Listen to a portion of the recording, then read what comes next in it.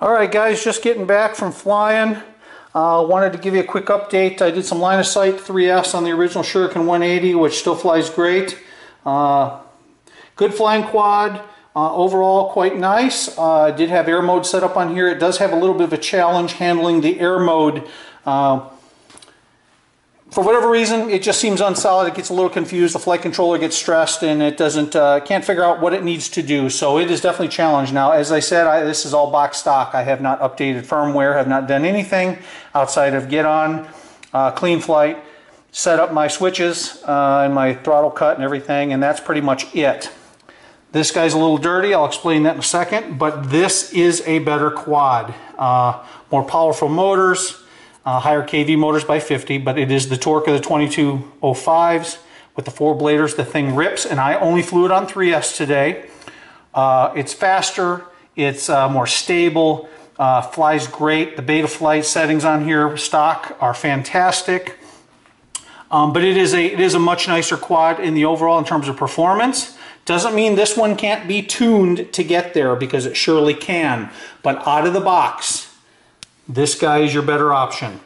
Um, it handles, uh, I have it on air mode as well, and this one handles air mode like all of my high level quads, my uh, high performance quads. So it's set up right. It flies like a bigger quad. Uh, your biggest challenge is getting a battery in there without getting clipped by these props. You can see there's very little clearance. So definitely a better version out of the box. This one we think can probably be tuned and get there, but anyway, just wanted to give you a comparison.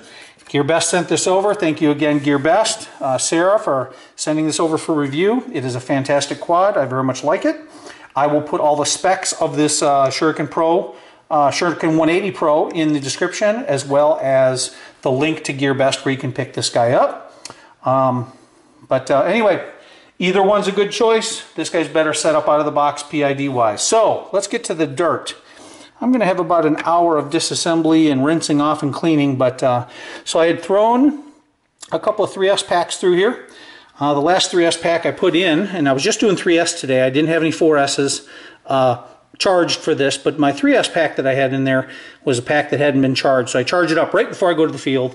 Uh, obviously, it could not handle uh, and had a big voltage drop mid-flight. So Mid-flight, actually was coming in for a landing because uh, I noticed it wasn't given the punch, so I knew there was an issue.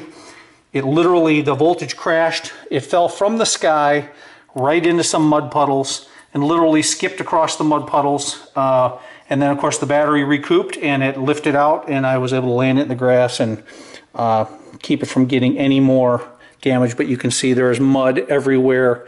I'm going to have to disassemble the whole thing and, and wipe the whole thing down. So that's the excuse. Uh, but it did fly great. When I did get to fly it, now I just got to clean it up and then I will get some uh, more videos done of it. I will do some FPV. I will do some 4S flights, line of sight, and then I'll put the session holder on top. We'll get the GoPro session out and we'll get some other video uh, so we can get some uh, at least some good flight footage of what it's like flying around and uh, be able to show that. And then I'll, uh, I'll figure out something on this guy too. So I'll continue the comparison, but this one is definitely fantastic out of the box. I'm going to leave the PIDs and everything alone. I'm going to continue to fly it this way, and we'll see what it's like on 4S. But again, GearBest, Sarah, thank you very much for this quad. Uh, very nice. Um, uh, great opportunity to be able to review it for you guys, uh, and it is thumbs up, guys. If you have a chance to pick one up, do so. They're both good. This one can probably be tuned to be much better than it is out of the box, but out of the box, this guy rocks. Two thumbs up, guys. Thanks for watching, everybody.